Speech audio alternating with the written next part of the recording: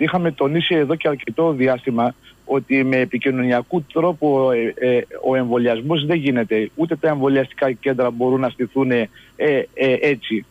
είχαμε διαφωνήσει ότι μέσα στα νοσοκομεία θα έπρεπε να υπάρχουν εμβολιαστικά κέντρα, θα έπρεπε να υπάρχει αναπτυγμένη πρωτοβάθμια φροντίδα υγείας και δυστυχώς επιβεβαιωνόμαστε καθημερινά.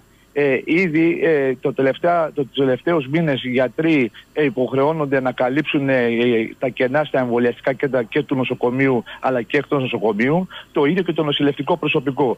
με αποτέλεσμα και να δυνατίζουν και να μένουν κενά και νοσηλευτικά τμήματα και από γιατρούς και από νοσηλευτές και να δημιουργούνται μεγαλύτερα κενά.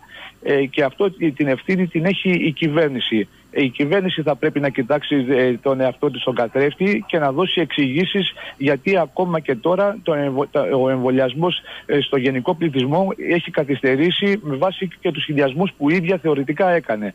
Αυτό που απαιτείται είναι να πρέπει να καλυφθούν τα κέντρα υγείας με μόνιμο προσωπικό, θα πρέπει να αναπτυχθεί να, να υπάρχουν γιατροί παθολόγοι και γιατροί εργασίας, ώστε και ανάλογες υποδομές και με προσωπική σχέση των γιατρών και με ένα πλήρως ιστορικό για τον καθένα και την καθεμία να δίνει τη δυνατότητα του εμβολιασμού και της ενημέρωσης του κόσμου. Αναρωτιέμαι, κύριε Βρύσαλη, γιατί όλα αυτά τα οποία από την αρχή επισημαίνεται, δηλαδή σε ό,τι έχει να κάνει με την στελέχωση των νοσοκομείων έτσι όπως θα πρέπει να γίνει, της πρωτοβάθμιας φροντίδας υγείας, με εκείνο το μεγάλο ρόλο που της αναλογεί γιατί δεν έχει γίνει.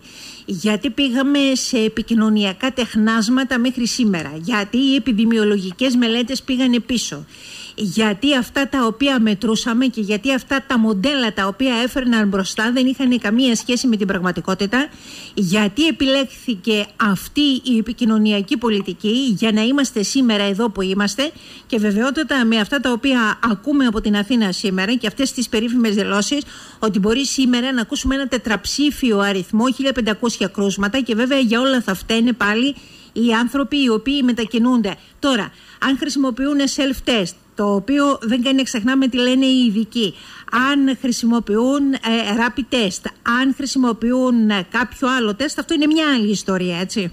Ε, κοιτάτε ακριβώς και γι' αυτό δεν πρέπει η κυβέρνηση να κουνάει το δάχτυλο στους ε, εργαζόμενους και στο λαό μας. Η ίδια φταίει και για το φόβο και για το δισταγμό και τους ανορθολογισμούς που σήμερα ε, διατυπώνονται από πλευρές, πολλές πλευρές. Και βεβαίως είναι ενδεικτικό ότι αντί η κυβέρνηση να ενισχύσει την πρωτοβάθμια φροντίδα υγείας, εκλυπιαρεί την Εκκλησία και τους Δήμους να μπουν στο, στο παιχνίδι των εμβολιασμών. Ενώ είναι δικιά της δικιά της κρατική ευθύνη ε, και είναι και δικιά της υποχρέωση και αυτά που είπατε συμβαίνουν γιατί όλα τα έχει, ε, τα έχει πετάξει στη λογική της ατομικής ευθύνης. Εσείς τα έχετε επισημάνει, εγώ απλά τα θυμάμαι. Όχι, εγώ τα, εγώ τα ξαναεπαναφέρω γιατί απο, αποτυπώνει την πραγματικότητα και αποτυπώνει η κυρία Δουλγεράκη ότι, ότι είχαμε δίκιο. Ότι ε, ε, Ιούλη έχουμε, τα υγειονομικά πρωτόκολλα έχουν γίνει λάστιχο, ε, έχουν γίνει λάστιχο όλες αυτές οι ανακολουθίες της ε, κυβέρνησης με αποτέλεσμα σήμερα τα νοσοκομεία να υπολείπονται και σε ιατρικό και σε νοσηλευτικό προσωπικό, να τελειώνουν συμβάσεις γιατρών, ε, νοσηλευτών και του υπόλοιπου προσωπικού και η κυβέρνηση αντί να μονιμοποιήσει ε, θα τους πετάξει, στο, θα τους πετάξει στον, ε, στην ανεργία. Γι' αυτό προχωρούμε και στην κινητοποίηση την ερχόμενη Πέμπτη, 12.30 ώρα με συγκέντρωση στην 7η υγειονομική περιφέρεια, που θα συμμετέχουν και τα νοσοκομεία του Αγίου Νικολάου, του Βενιζελίου, το επιστημονικό προσωπικό της 7η υγειονομικής περιφέρειας και βεβαίως όλοι αυτοί οι άνθρωποι που σήμερα θίγονται από αυτή την πολιτική των απολύσεων και των συμβασιούχων εργαζομένων στα νοσοκομεία και τα κέντρα υγείας.